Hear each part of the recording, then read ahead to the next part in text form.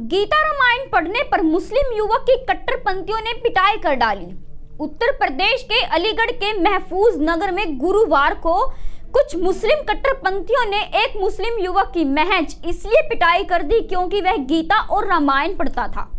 आरोपी यही नहीं रुके, उन्होंने पीड़ित व्यक्ति से दम, धर्म ग्रंथ छीन लिया और उसका हारमोनियम भी तोड़ दिया।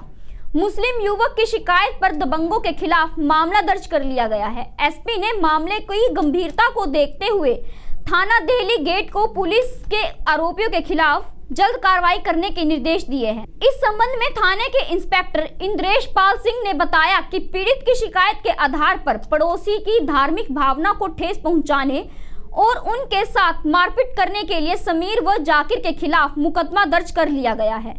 एक आरोपी को हिरासत में ले लिया गया है। उसने पड़ोसी से झगड़े की बात स्वीकार की है, लेकिन बाकी आरोपियों की बेबुनियादी बताया है। पीड़ित ने मामले पर लिखित शिकायत में कहा कि वह हर रोज अपने घर पर गीता और रामायण पढ़ता है। यह बात पड़ोसी समीर व जाकिर को हजम नहीं हुई और उन्होंने अपने साथियों के साथ घर में घुसकर हमला कर दिया।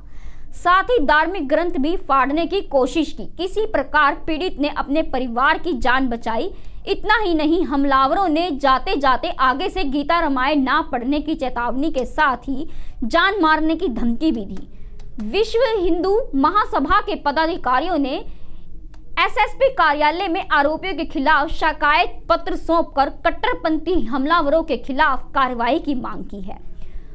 दिलशेर के अनुसार उसने रामायण पाठ को अपनी आदत में शुमार कर लिया है। रोज़ाना नहाने के बाद वह रामायण पढ़ना भी नहीं भूलते।